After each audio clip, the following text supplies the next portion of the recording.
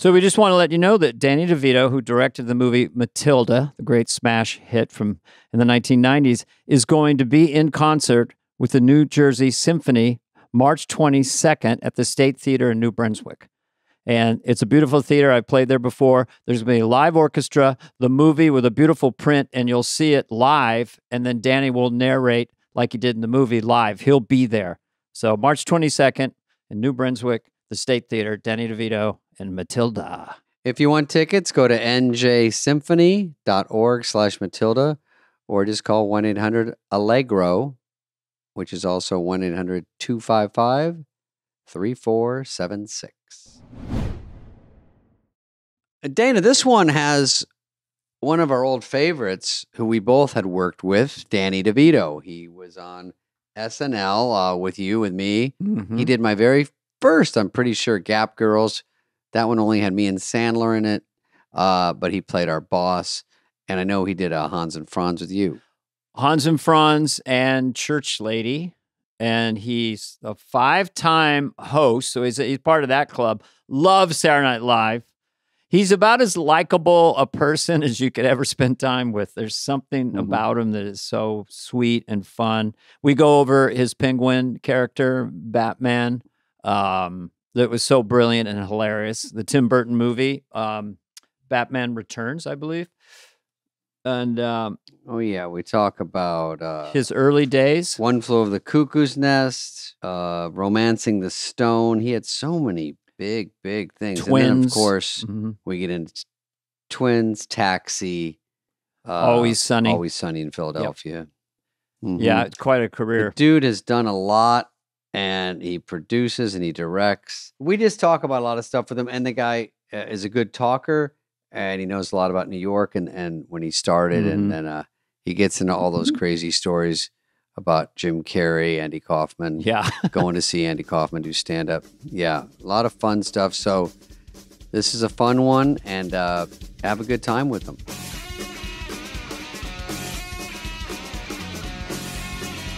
But I was just thinking, doing this in the 1960s, we might have waited for Yul Brynner to come on. And that would have been fun. Yul Brynner would be the first, yeah, guest. Podcast guest in 1965. We'd follow him up with Steve McQueen. Yeah, you put him on. He does a little dance. Does the accent. He talks about the doing the jump, but he didn't really do it in The Great Escape. Didn't really, yeah, all the all the stuff that he does. You know, like I had a, an apartment in New York once in the, in the- '60s. I got on the bulletin board of uh, of uh,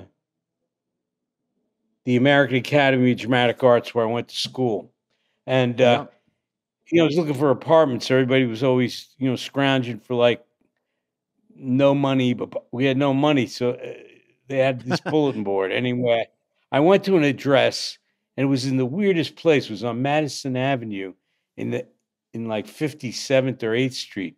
Six forty five was the address I remember, Oh. and yeah, Wow. and uh, I walk in the door. It's a really shitty building. Now it's all, you know, totally to- turned into what New York is, you know. And I, I go in the building, and the first thing I saw was a giant picture of Yul Brynner, oh, man. and it was a little shitty, yeah, a little shitty hallway like kind of thing. And Mhm. um, anyway, it worked out because I I got the apartment. It was like the second flight up. It had an elevator actually in the building, but very very very very old school. yeah. And uh, of course, sixty. It was sixty four or something like so, that. So what was your rent? Do you remember your rent? Yes, fifty dollars a month. $50 a month. and it, and it was a one bedroom apartment and the back and the bedroom was the was a living room bedroom kind of situation it had a nice bathroom and a kitchen and and a and a Mhm. uh yeah and the bedroom had windows that looked out over the tops of um uh buildings in new york so it was like one of those it was like if you were uh doing a play or a movie about new york and you said like build me uh, a, s- a outside like what the cyclorama would look like or today Mhm. what what you would put in in in uh, you know the background of your movie. It was all the stove, you know, the, the Yeah. exhaust pipes and the tops of buildings and railings and all that. It like it Yeah. looked like that you could do you could do uh, West Side Story on the roofs. well, did did people hang out of the, out, out of their out of their windows going, "Hey, what's with the Well, no, fucking the- noise over here?" No, no, they weren't doing that. It was like more like it wasn't like enclosed like like if there were Okay. buildings that went up. Because Yeah. in that area, eh, you know, at that time, it was just the top. So you had a great Mhm. panorama of looking east. Uh but no, you didn't see a river or anything. I was on Madison Avenue and uh, but to actually have that address at at that time was like amazing, fucking crazy. Because I put these other glasses, I see better from far away. That's a great, right in the heart of Midtown, right? It's right in the heart of. And the thing about Mhm. it is that at that time, and a lot of people don't know this, Madison Avenue and Fifth Avenue were two-way streets. I mean, you guys weren't even born. Uh, Um, yeah, I was being born. I go back. I remember Yul Brynner. I look. I mean, you know, David doesn't know who Yul Brynner is. Yeah, so you remember him, but yeah. Oh, oh yeah. But, I uh, remember the King and I was a poster. But if you imagine Madison Yeah. Avenue being a two-way street, and Yeah. uh, you know you know New York very well, and Fifth Yeah. Avenue also. I used to walk up from 30th and and go to 57th or 8th where I lived, and uh, it was a two-way street. It was really there weren't any horses and carts though. You'd be happy to hear. You weren't that far back. It wasn't that. Far. Oh, far. good. All right. We're in the modern. Were you I- walking around with Casting Call magazine? I was doing uh, what we used to get was uh, show business and uh, and what would they call backstage. You remember Oh, those? backstage. Remember yeah. those? Yeah, See, yeah. You guys did it a whole other way. It was just we'd buy. I would, you know, I was never in the magazine. I we'd buy these magazine, these papers that came out once a week, show business and and uh, backstage, and in there Yeah. there would be all the casting that was going on Mm-hmm. Mhm. Mm-hmm. And we would, you know, we would go to uh, uh, on the corner of I think it was 47th and uh, 7th was uh, Howard Johnson's, and uh, everybody would meet in there. It was like you that you go in, you know, take up space and have coffee, and read the to see what The was, latest thing, yeah. yeah, to see what was going on, and and uh, Uh, Danny, did you ever find when you auditioned for these things at the beginning? I found this that you would audition and then you would hear through the grapevine they already have offers out to stars, but they're just looking for backups or to, oh no, it's al- it's well, always the same know, that- case. So it- it's been that since the beginning of time. And the other thing about like I I'm talking about auditioning for off off Broadway, Mhm. off Broadway, Mhm. ch- uh, regional theater, anything Mhm. that you could get. And, and, you know, sometimes you get lucky and get a, an audition at the public, you know, uh, and uh, you know get get a, a tiny part in uh, Shakespeare in the Park. You know, Mhm. like Mhm. it's not li- literally a spear carrier, but you might have a few lines. Like I played once, I got I played the doctor in uh, the Merry Wives of Win- uh, the doctor's servant. Sorry, in the Merry Wives of Windsor. You know, and uh, the best. Those were the best shows uh, to get because they literally paid, man. Oh, That was like you would wind up with 190 something dollars a week in uh, in Wow. those uh, in in at Joe Papp's. Yeah, two hundred dollars. It was a, a different contract. That, you know. n- no But- strike needed there. Yeah, yeah. Four the, months uh, of rent. off Broadway. Off Broadway was great, man. Off Broadway was sixty eight dollars a week, seventy dollars a week. Damn. That's what I made on SNL.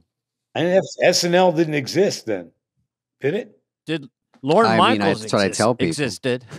Well, Lorne Michaels always- always existed, He was in. A, he was a and he teenager. still exists. there is no one When, nothing when, did, before when, did, when did SNL start? When did SNL start? That's a good question. 75. It's like seventy something. Seventy-five. 70, 75, the because- 50th is next year. Yeah. Yeah. Anniversary. Yeah. So I yeah that's so seventy five. I was already in California by then.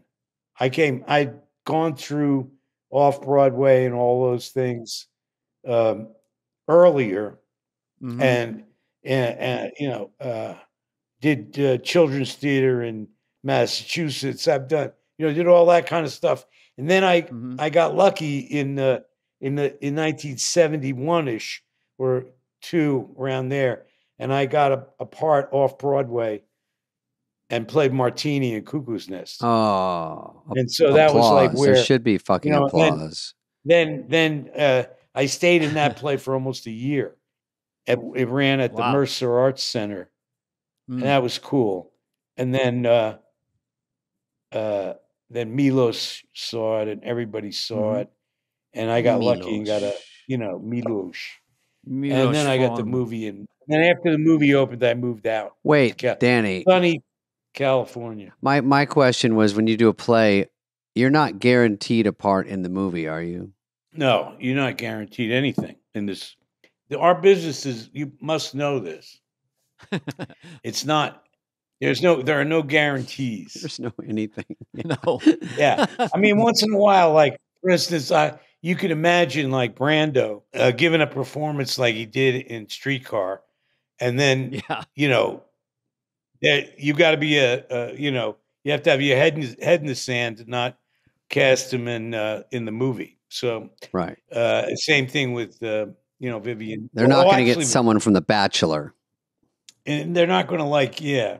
He's going to be uh, the first choice. Yeah, I, I starred in Hans and Franz the musical. Sorry, go ahead. Go ahead. I want to hear more about Hans and Franz the musical.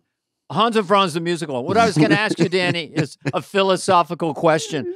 Usually, when people have their struggling years, struggling years, and then have hyper superstar success, which I'm going to put you in that category, they look Mhm. back at those early years and go, "Those were some of the best days of my life." Do you feel that, or did it suck when you look back on the struggling Well, years? it, it, I never, I don't, first of all, I don't, I mean, unless I'm doing something like talking to you guys, like, or something, where, you know, you don't think about that as much, but Mhm. Mhm. you, you, you do think like, you know, uh, those days were tr- struggles, but not, you know, not the best.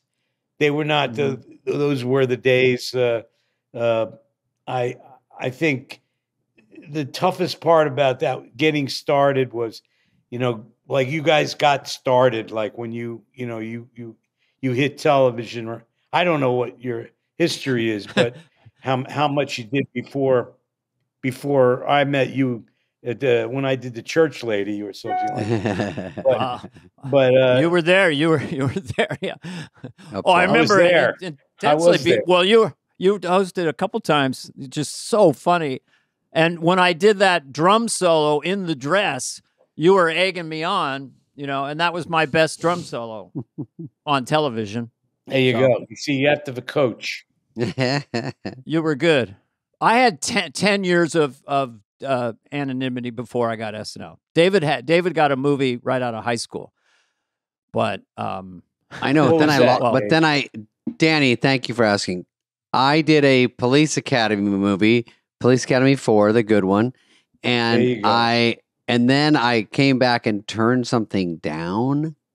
I thought I was kind of a big deal, and then I lost all my heat for three years and had to grind it back, and it's so fucking sickening to even think about. But it, Yeah, you know, it all worked out. But, but like you were saying in the beginning, when you were struggling, I think like all of us, you don't really know any better, and you you know you're taking a risk by going into this world of movies and TV and theater.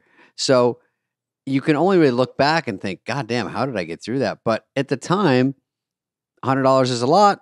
You get a little part, it's a lot. You know, you're just sitting with your buddies at the coffee shop. It's such a long shot to make it that it's probably once you make it, you look back and you go, God, that was tough. But at the time, it's tough, but you don't I didn't really notice how tough it was. Yeah, you don't notice it. No, you just well, you're you're focused on like you're you're focused on getting the job. yeah. So basically, that was what what was going on with me. I was like, I would uh, uh, I would read those papers that you you know, and at the time, excuse me, in the '60s, I I didn't have an equity card, so I just got out of school, and like the way they did it was you you would read in say you'd read in the in in backstage that such and such was casting something and you go okay and and they're casting over on 57th street you know by carnegie hall somewhere near one of those buildings down the block whatever it was. And casting was you know say tuesday. Okay but you didn't get in until the end of the you got at the if you didn't have an equity card they saw everybody. You know Mhm. they would there because everybody's looking for the right person to play the part uh, hopefully. Uh if and especially if they're not you know it's the, the i mean maybe they already had the lead cast or that's the way they raised the money or that Mhm.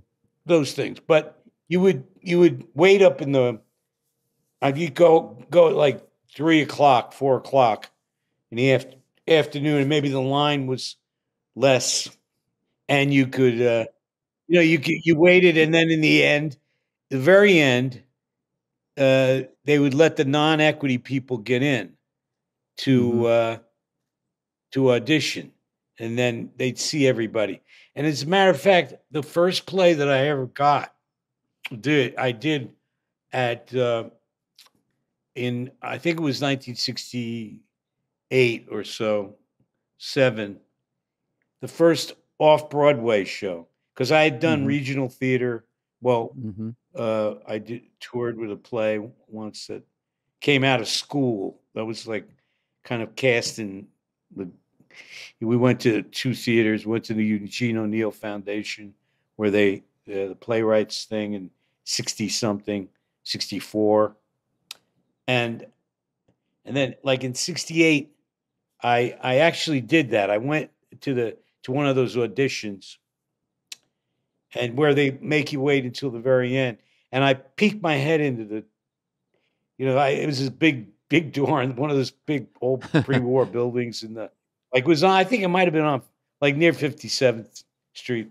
And I, I walk up and it's a giant bo- door and there was nobody there because I had gone and come back. The line was really long. And hey, anyway, long story short, I stuck my head in and there were, there was an actor, a director, and a writer and a producer sitting at a table up really far away in this big empty room. It looked like a rehearsal room.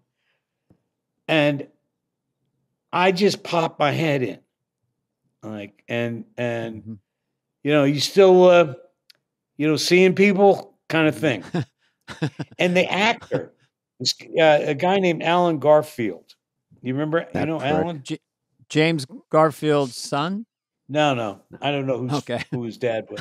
His name was Alan Okay. Garfield, but he was hmm you know him, Dave? No, I know Garfield the cat. Okay, but- anyway, lo- the guy literally at the table, like across the room, turns around and said, That's the guy who should play the part. Whoa. They were trying to talk him into, yeah, he didn't want to do this part. It was wasn't a oh. huge part, but it was a good part.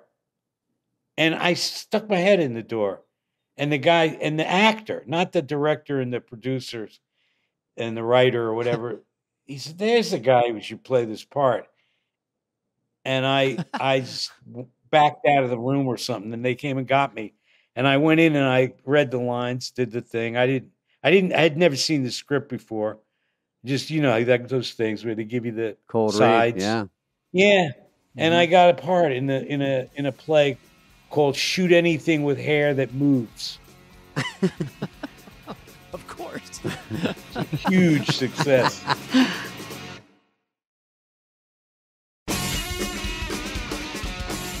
I just think of the 70s and the films of the 70s and Cuckoo's Nest. Yeah. and of course, that play. Yeah, Don't shoot anything that has hair. And Yeah. the shoot anything. the with hair friends that you Yeah, with- that you made, Jack Nicholson and Michael Douglas, and your your class, Right. you- those '70s guys that all became and they're Yeah. lifelong friends. What What's the deal with those guys? Are they fun, or do you like them, or They're Jack fun. Nicholson and Yeah, they're good to work with. Yeah, Jack's the coolest guy out there. Jack Jack, Jack was like a a guy from Jersey. He he actually lived like he was born in this. We were born in the same hospital. Mm. Figure that. Like well, I'll down be the shore. damned. and uh, Well, hey, I'll be damned. how about that? And uh, That's what Jack would say. I'll be Mm. damned, born in the same hospital. Yeah, how you like that? Me and D born in the same hospital. Um, I don't do a good Nicholson accent. Let's see. And then Michael, I met, I met actually in the '60s at the Eugene O'Neill um, playwrights conference up there, where we, where that play that I was going Mhm. through town with. Uh, we we opened the festival that year, and um, that's where we met. So, and they were and not only good guys, but really uh, fun to work with. And you and you and once we got going, we had a couple of uh, uh, shots to work together, which was like Mhm. really good. But you know, it's good when people are looking out for you because uh, the business is like very difficult.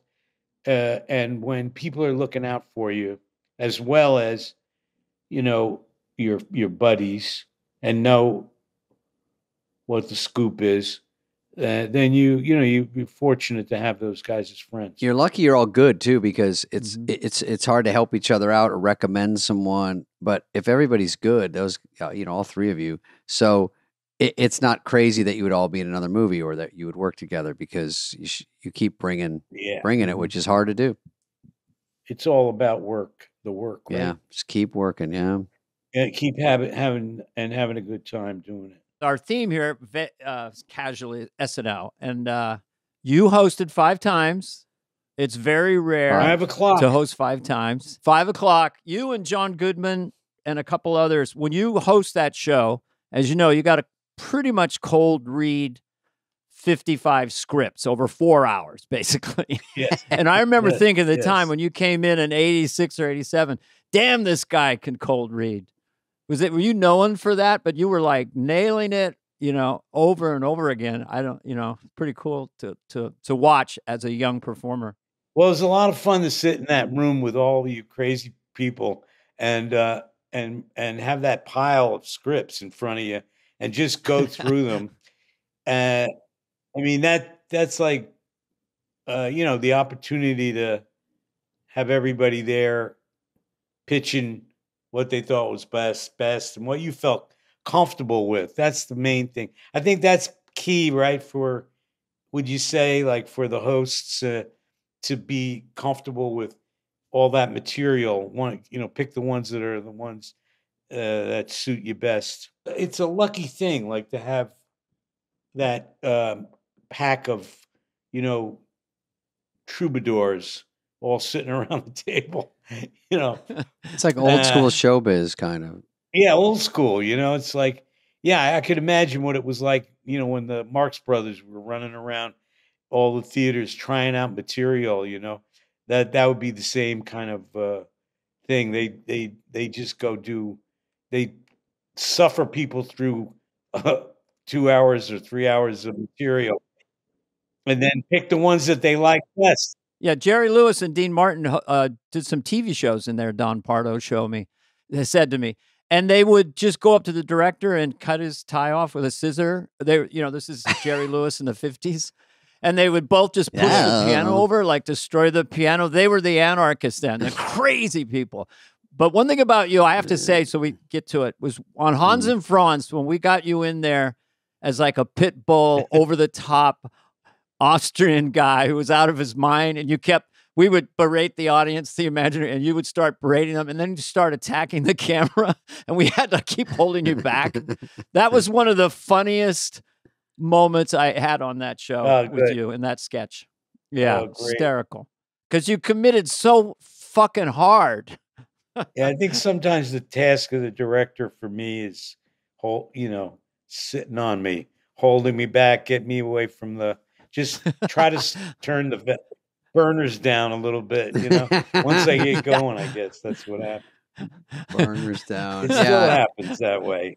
Well, that's what Arnold Arnold told me about you. He said, you know, you you got to keep Danny on his feet. Keep Danny on his feet You have to because his energy keep goes him on up. a short leash. Had a Yeah, short leash. Otherwise, he gets going. He gets away at the leash, and you have to you have to follow him Yeah. and get him and bring him back into the scene because the emotions get so high with Danny. It's funny about about with Arnold. Arnold and I were thrust together by Ivan Reitman, who just Yeah, passed away. twins. soul.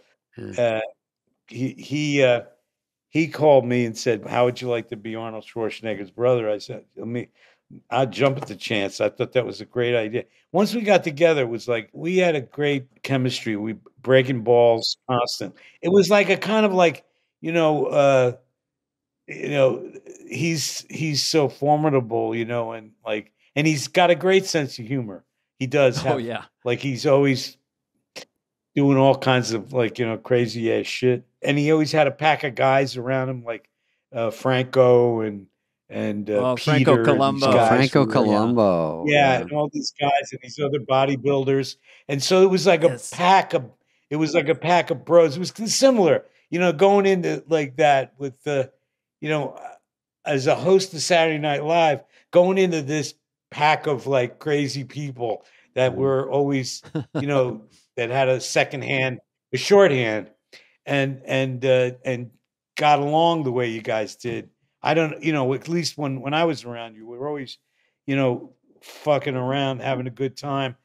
And so it was a similar kind of thing with uh, with Arnold. I'd go in and, and there would all be these guys seriously pumping iron and doing shit and you know talking about you know and I just like you know when you get Protein powder. like all of a sudden a, a kind of a wrecking ball comes in and starts banging into you know Yeah. it was fun it was a lot of fun Were they going to do a triplets? yeah we were going to do it and then uh two this is the I, I always go by the super bowl because it was i was in atlanta uh doing a movie and uh and uh, it was super bowl sunday and i was just get getting over covid Mhm. I was stuck in a room for two weeks, and Mm. and uh, the news came that Ivan passed away on that day, and so this is going to be three. This is three years now that he's gone. Two, yeah, three years. Two years. Yeah. Okay. brilliant director. Yeah, it was a drag. Um, he was, uh, you know, he's a lot of fun and uh, and uh, made made a big difference in my life. You know, Yeah, I was uh, told but that. we were going to do triplets. oh, We were going to do triplets. We had a we had a script going. Everything was going, and then when he passed, uh, his family didn't want to continue with doing it. So we're Oh. Arnold and I are working on other things together. oh, good. And you know, That's awesome. We love Arnold. you know, you the- know, the way and I- things yeah. Yeah, he's a he's a cool guy. He's, he's a good guy.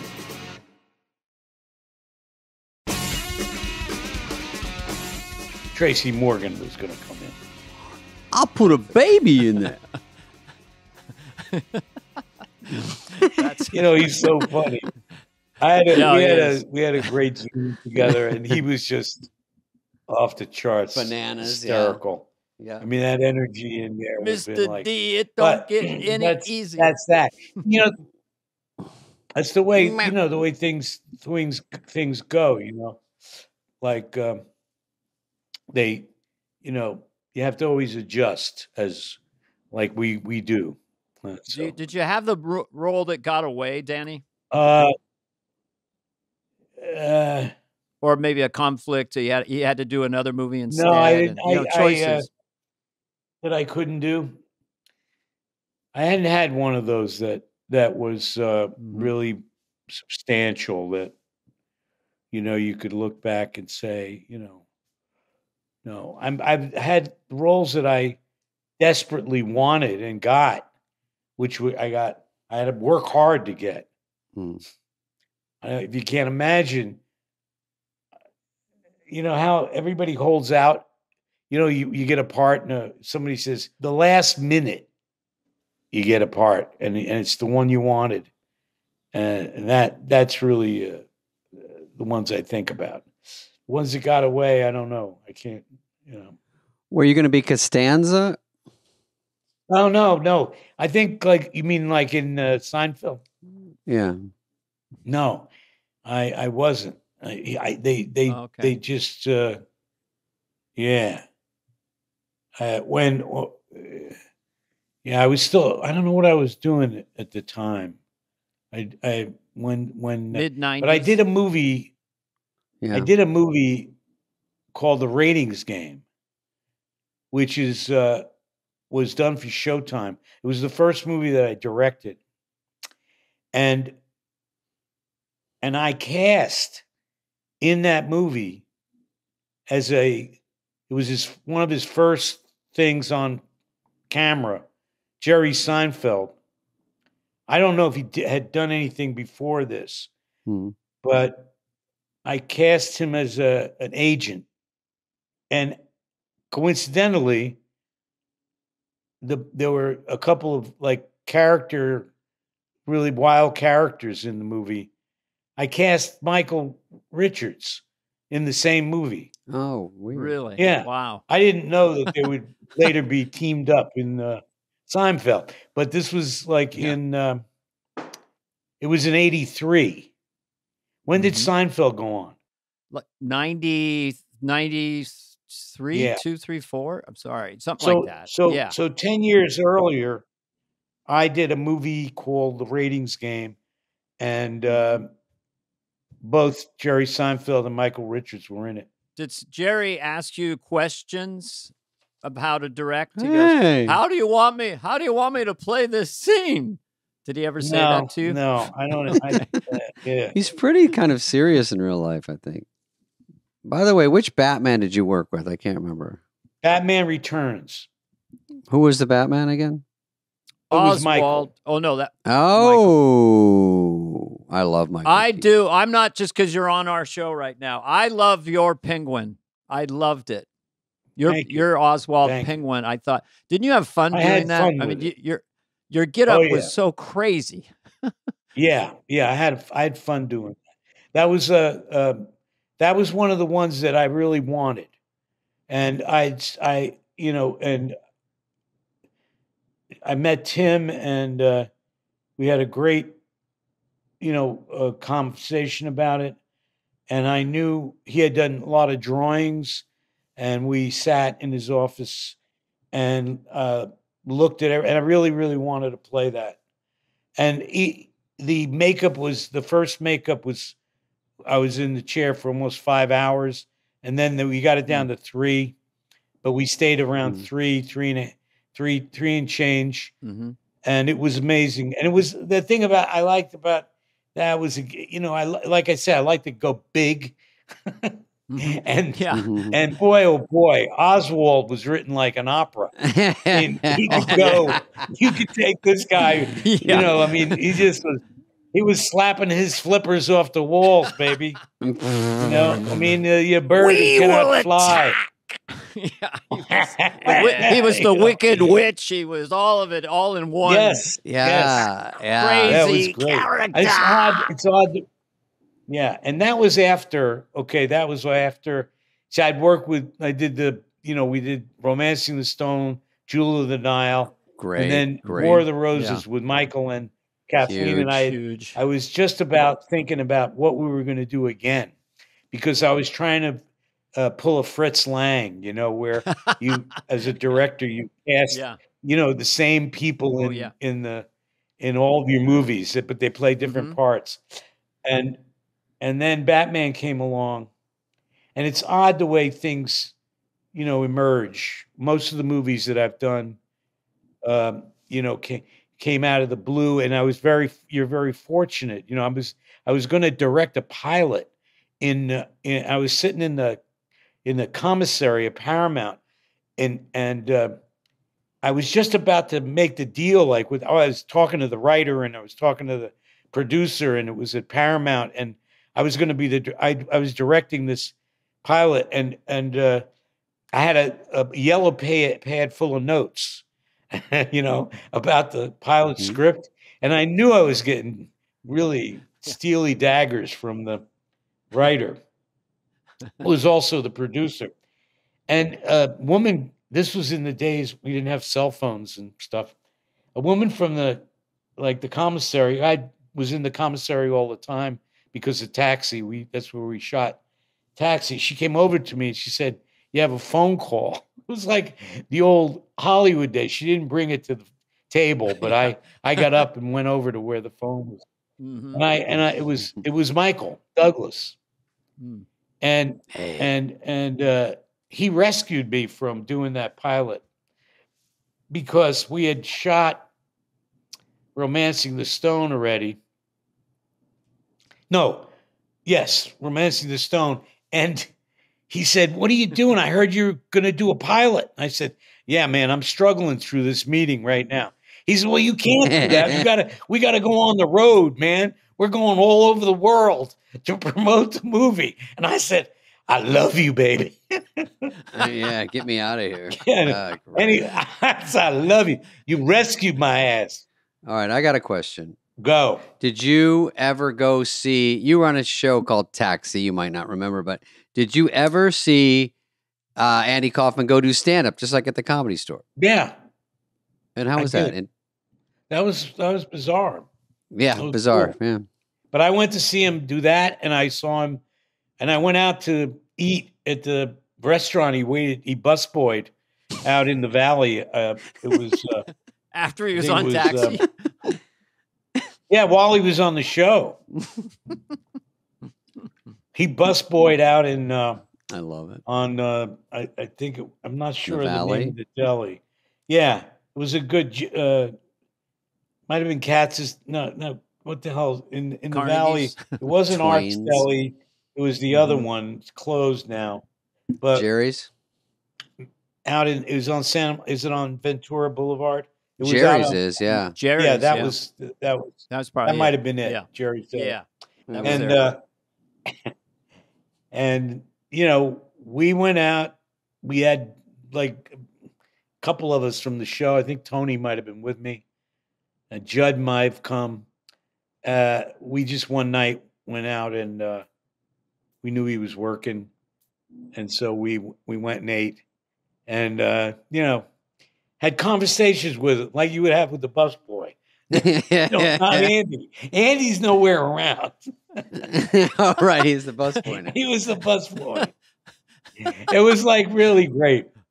I mean that that that was that guy was like, uh, yeah, we had some fun. His dressing room was right next to mine. We would. Um, he was uh, he he was hysterical. One day, uh, somebody was delivering a package, and it was a woman, and he started yelling at her because she she was. Uh, I don't know UPS, so I can't remember what.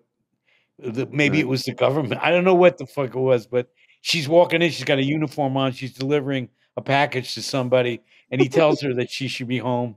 You know, ta- she's taking a man's job, and he Right. booked her into a wrestling match. Yeah. I was there for that one. Right in the Wow. hallway, bo- both of them turning red. You know what I mean? Like chokeholds. We had to break them apart a couple of times. He was so Really? Serious woman. about that shit. You could do was that Yeah. like in those crazy days. about that. I don't think you could actually. I mean, you could do that. You could do, yeah, I don't know. There was no like, you know, again, if that was a, it was that was today, somebody would be out with a cell phone, and the next Mm. thing you know, it would be online, and people Oh, would yeah. comment about it, and they would say, you know, but I'll tell you, the woman that he was fighting was as big as he was, And- and she did a good job, man. He had his ass down big time, you know. It was it was uh I don't know if Tony I always wondered if Tony always had a little camera with him, dancer. And I was wondering if he you know, had one of those little always had a Any good camcorder. pictures? eight millimeter. you can't get- Did, did were you cast before Andy? Were you cast first, or did you have any hand in the No, I casting? think Andy might have been cast. I was I was the last I think I might have been one of the last members to be cast. Uh and the the uh the the story was that I was told later was that my part was actually written as a like a voice that came over the loudspeaker, Oh, yeah. like Uh-huh. kind of like Carlton the doorman. Yeah, I remember Carlton all the Norman. involved in that guy, and uh, and then uh, ultimately, you know, I came in and, and did my famous audition where I I said uh, there I s- said to them before I they just introduced me, and I said to Brooks and Weinberger and Dan, Stan Dan Dave Davis was there, all the guys sitting around. I said, one thing I want to know before I start, who wrote this shit? And I threw it on the table. and, and it was like a split second of like, am I going to get thrown out? Not even, you know, a nanosecond Yeah, where they of didn't course. do it. And then they just fucking pissed themselves. Right. And then it was one of those auditions where you, you couldn't say anything. You couldn't do anything wrong. I'd say, and, and I'd get a laugh. Oh, You know, I the- love it. It wasn't, yeah, it was the, uh, that was Joel- Riga. the the casting director was Joel Thurm. He Oh, he said you got to Okay. come and do this. You got, you know, and I I said, yeah, man, okay, cool. What a fucking score that what was a, such what a, a score that was, yeah. yeah. What was weirder, working with Andy Kaufman on Taxi or then doing The Man on the Moon with Jim Carrey doing Andy Kaufman? I think working with Jim was it was like really off the charts. That was the most fun. Like I've had fun like on. Sure. I'm really fortunate. I had fun on a lot of the movie. You know, I've, I've never had one of those. Oh fuck, that was awful. Movies. I always had these like really quirky. Yeah. kind of things. And being on the set with Jim Carrey, sorry about that. Jim, being on Hello, the set Jim. Carrey was oh oh it is Jim. No, I'm only kidding. Uh, he was like in so far in you know the, all the story. We saw Yeah. the documentary. Mhm. I was producing that movie, and so my I but also playing God rest his soul George Shapiro. Uh, anyway, uh, he was busting my balls constantly, and you know, and Milos is then see and it's infectious because then what would happen? He, we were having fun, but Milos should go to me. You gotta go to Matvin's trailer. I'm losing time. I gotta, I gotta get. The, you know, I am. The studio is going to be on my ass, yeah. and I'm going. "A- Uh, Andy, uh, Jim, uh, Uh, Tony, Tony you know what I mean? Come on out. And he's gone, you know, uh, but it was fun. It was even though it was like, you know, and I've got a lot of friends who worked on that movie and we still talk about that experience because Pam Abdy was my assistant Mhm. at the time. Uh, she was there and knowing that I was going through what was going on. I mean, he did things like he, he- okay, we're acting in the movie, but I'm also the producer, one of the producers of the movie. And so he he would get mad at the and he like he he pulled his car up to my trailer and went up, you know, there's got the little metal steps. yeah. He jammed his the car up, put it in gear or something, locked it, took the keys. I couldn't get out of my trailer. The Teamsters had to come with a crane to get the car. You know, it was like one of those. Uh, it Oh, was a crazy, crazy time. I I'd love Jim my- Carrey. Yeah, Jim he is fucking great. Just just the fact that he committed that. did he get nominated for Best Actor for that? Or I don't know. I don't know. he we had a really brilliant? uh it was a he, Yeah. He was brilliant in that part and uh Mhm. you know uh, yeah, and and seriously um uh would turn it on and off when he wanted so that was like one Mhm. of those things where whenever he came to the set he was always in character but if you see him like you know you know off Out. like i went to his Yeah. house or something like that for a me Mhm. you know some thing he was like cool he wasn't Yeah. you know he wasn't like a serial killer off the Yeah. off the yeah, set he, he's very he's sort of a quiet, sweet guy. Yeah, quiet sweet guy Yeah. but then turned into like tony clifton I love it. which was Well, like Tony Clifton is a whole other. that was fucked next up level. man Yeah. Uh, he, was we, we we shot at a place called Chasen's down on. Uh, I remember that that place. okay, he Mhm. spread. There was some kind of, I don't know, union strike or some. There was something going on. He wrote like big letters, like you know, in red ink. I mean, red spray paint uh, all over the building. I had, I had, I had to, re, to paint. I had to repaint the entire building. Ah, It's like a Farley. It's like having a crazy person on the like, like, like, yeah, Chris. Yeah. I, I, I can't imagine what it was. I, I, I always loved Chris, and uh, uh, because he would take it to that, you know, Oh yeah. he was always the one. Oh my god! Yeah. Yeah, Same kind of thing. guys- Just a lot of attention, a lot of craziness, and uh, Chris. lovable, sweet guy like Jim. I mean, just but they really liven things up. There's always a story after the fact. There's always a story.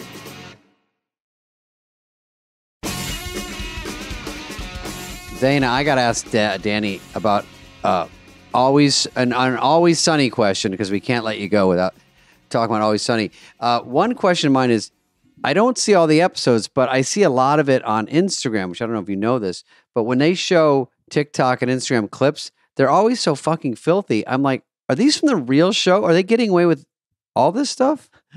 Are they filthy? I don't know. I don't. I don't. I mean, like, just they're very R rated, and I thought, yeah, the show oh is man, a little bit. I mean, people love that fucking show. They love Yeah, it. the show is a little. uh You know, I don't know A little. what you're talking about, but uh, we have had some um innuendos. hilarious. I guess. Yeah. Yeah, there's some innuendos for sure. I'm not sure if they're even innuendos. They're just uh, straight ahead. But yeah, they're it's so funny and uh, it's it's such a long run. So, um, it sounds like a gift. I'm sure. Just yeah, like it is a gift. being with fun. They all look fun as shit. I don't know Yeah, everybody that well, but No, they're all they're all you know. Uh, uh, when I got this show, uh, that you know, Landgraf was my buddy, and he showed me this FX show. boss, right? Yeah, forget FX. Uh, and then I met them, and they were, you know, just the way they are, and uh, the same cat. You know, the three Yeah. oddballs. Mhm. And then I met Kaitlin, and she's she's like hysterical. hil- hilarious. But- yeah. Uh, Yeah. But um, yeah, they're they're a lot of fun to go to work with. You know, yeah, it's good. To, it's Oh, a good for sure. job. It's And been it on keeps- there forever. Keeps giving. keeps giving. And now Matilda, we have to talk about. Yeah. Matilda came to me. Yeah, Which you directed the movie. I did. I directed the movie, and hmm and I, you know, I I saw Mara Wilson in in uh, in uh, the uh, uh, movie uh, Mrs. Doubtfire, and uh, Oh, she was yeah. a little bit older when I met her. Perfect for Matilda, and we shot the movie, and it it, it was great. We had a great time. That was like that was fun. That was a, a hundred hundreds of kids. There was no Mm-hmm. CG. We we added kids and all that stuff Yeah. Yeah, this was yeah. all real kids. It was really Mhm. great. Me on the stage with a bullhorn. Yeah, do this, do that. You know, like and, Mhm. and, uh, get your finger out of your nose. We're shooting. Okay. Wrangling cats. Yeah, Yeah. wrangling. Yeah. And so now we're doing it on. On we we've taken the sound out. You know, you've seen these things. Uh, everybody's does it with ET and does it with Mhm. Star Wars and does it with Back to the Future. I, I took the soundtrack out, and David Newman is going to conduct the the Philharmonic. Uh, it's a symphony Oh, okay. orchestra, Okay. Yeah. New Jersey Symphony Orchestra, Mhm. and we're doing that um, on March 22nd in New Jersey Mhm. at the at the State Theater in New Brunswick, and it's really exciting to do because here's the thing: you take the sound out, okay, the, Mhm. not just the music out, but I Mhm. I narrate the movie as well as play a part in it. Mhm. So when. I when I'm narrating, I'm on stage actually with the symphony orchestra. It's really Okay. intimidating, but it's really a lot of fun.